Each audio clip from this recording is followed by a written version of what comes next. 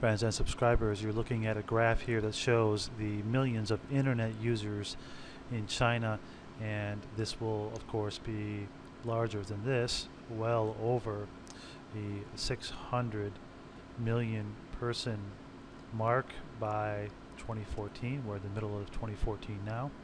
And uh, the Great Firewall of China, as it's called. Well, this is a, subject that is important even if you're not uh, doing any business in China or live in China. Why? Because this technology is already at your front door or coming to a neighborhood near you very, very soon. And if you don't think so, just read some of the popular bills that have been passed in your local governments, national governments, whatever country you may live in. Fang Binxing uh, is the father of the Great Firewall of China. Now, some of you may know uh, about the Great Firewall of China, some of you may not. Um, it was basically conceived uh, back when China had chosen the path. Now, it had two paths. One path was to social liberation, the other path was to economic liberation. They chose the latter. Uh, and uh, to do so, they have to suppress uh, social content, uprising, and uh, any tidbits of the truth as to what's really happening to come out. And so, what they do is they use a combination of hardware and software to block keywords and other uh, type of filtering to uh, prohibit Chinese nationals from getting access to the information they want. They they did this to um, foreigners during the Olympic Games in 2008, and here's a list of some of the ways that they do it.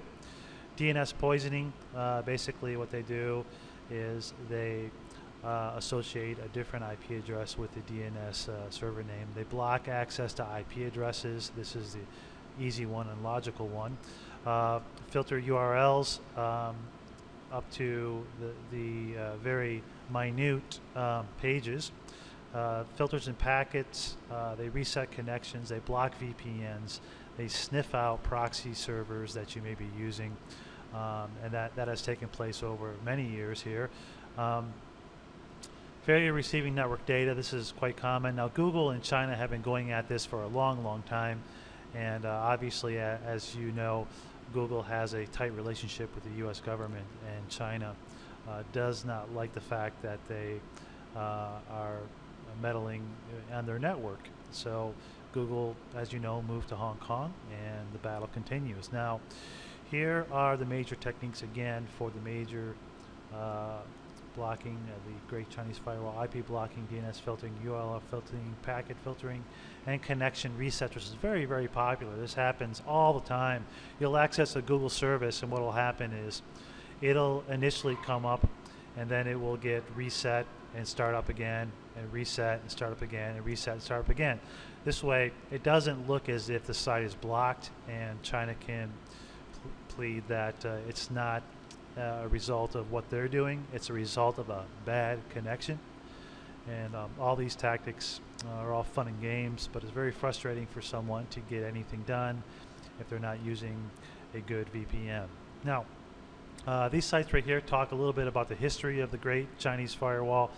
They talk about something that has occurred over the past year and a half or so. It's called mirroring. Now, Amazon is one of the big players in the cloud storage, cloud services realm, and their S3 uh, service basically allows you to get a lot of storage space and access that around the world and have some form of privacy um, against uh, you know peering eyes. So what a lot of activists are doing, they're using cloud storage to be able to block uh, or counter the great firewall, the tactics of the Chi-Coms to prohibit them from seeing what they want. They will mirror the site at the cloud storage and then make that available to anybody that can access the cloud storage space. Now, what China can do is they can block cloud storage, but they don't want to do that.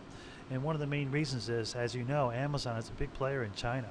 They spend a lot of money here. Z.cn is the Chinese site for Amazon. They have, uh, of course, padded a lot of government officials with um, bribes and payoffs. You can be sure of that. And so they can't block uh, a lot of these cloud services because they're just too big players. And if you're paying for that cloud service, you can mirror whatever you want on there as long as it doesn't prohibit the, uh, say for example, the Amazon terms of use, which a lot of these uh, blocked keywords and websites uh, by China does not prohibit the cloud service from uh, giving you access to your paid site.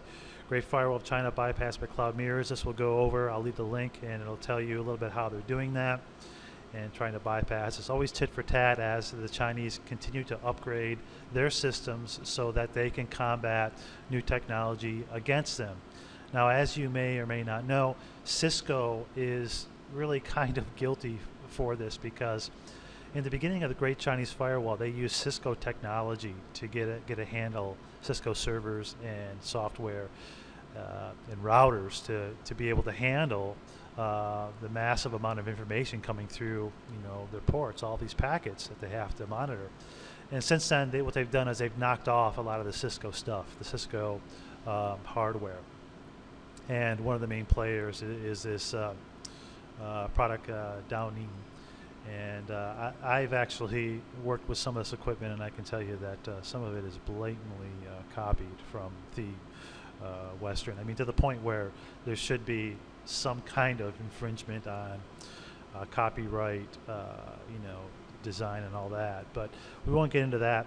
Um, basically, Cisco is one of the first players to work with the Chi-Coms on getting that and so they're they're kind of you know guilty of of, doing that just for the Chinese, and um, recently, as you may know, they have prohibited buying any Cisco equipment through government-related agencies in China, and I believe they're going towards a block of all Cisco hardware and Windows upgrades to software, and that is huge.